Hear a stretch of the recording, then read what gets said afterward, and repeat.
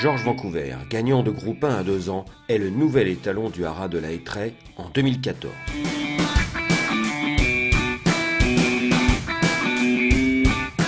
Entraîné en Irlande par Aidan O'Brien, Georges Vancouver, nommé en l'honneur d'un grand navigateur, a beaucoup voyagé à deux ans.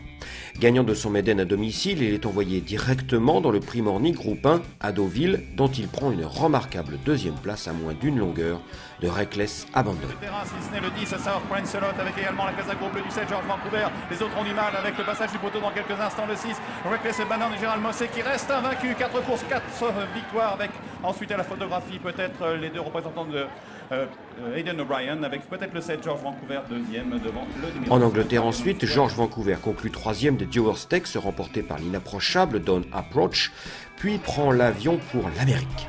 Présenté sur les 1600 mètres de Santa Anita au départ de la Breeders' Cup Juvenile Turf, il fournit une démonstration aux deux ans américains.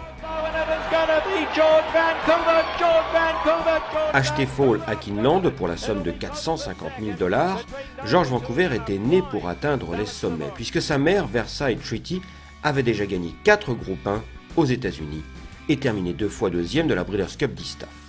Il est aussi très proche de son père, Henry the Navigator, le jeune fils de King Mambo, quadruple gagnant de groupe 1 qui donne tant d'espoir au Hara, et pas seulement par les similitudes de leur nom.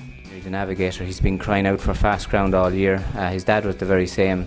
Um, c'est un parfait fils d'Henri the Navigator. Il a attendu les pistes rapides pendant toute l'année, son père était exactement pareil. Et chacune de leurs contre-performances s'explique uniquement par le terrain trop souple, voire lourd, qui arrive parfois en Europe.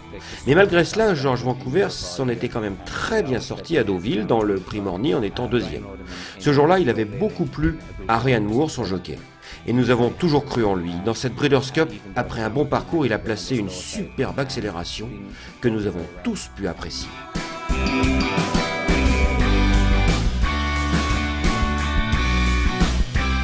Georges Vancouver débute étalon à 6000 euros en 2014 au Haras de la Hétraie.